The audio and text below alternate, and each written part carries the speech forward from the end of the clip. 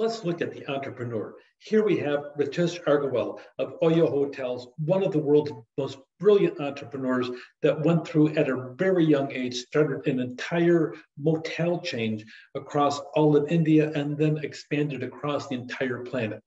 And he grew in the process, and people had enough faith in him that even though he had a business failure, they saw the vision behind him and he went through and became that.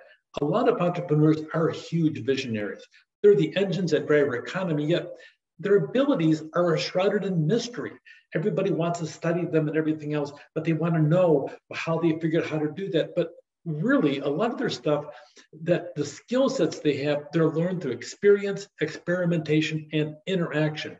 That's why later on, when we talk about the parts that make up our course, you'll see why it's structured that way. Trial and error is often the norm in the early years of an entrepreneur's life lack of money and resources force them to develop thought patterns and skills difficult to convey in a traditional textbook classroom format. Frankly, entrepreneurship can be a challenge to teach because you don't even need a college education to become highly successful. It helps fuel your success, especially later on, but you need to have that drive to go out and do something out there. But that lack of money and resources forces you to be even more creative than you were originally.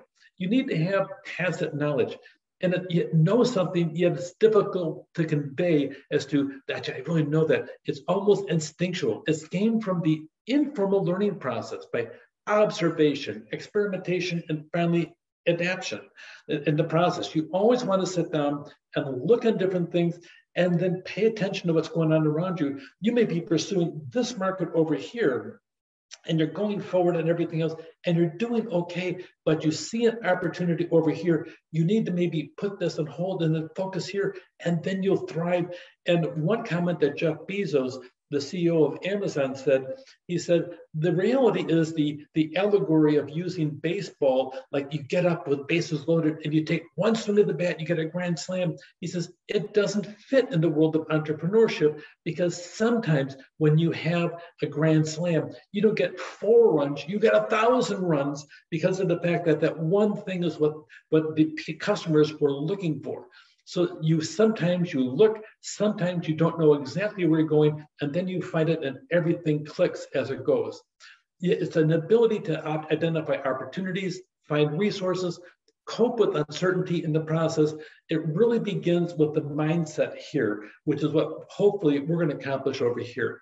We're going to focus in on a couple things on the mindset, the choices, the action, and the outcome in the process over here as we go through think about what you want to have, know the, uh, the beliefs and assumptions about the world around us, and then apply that because of the fact you find a new opportunity and a discovery. So we talk about entrepreneurship, focus in on opportunities that are abounding out there. And when you see something that really catches your eye or an idea, you get something out, either your phone or a piece of paper, and write that down as a potential opportunity.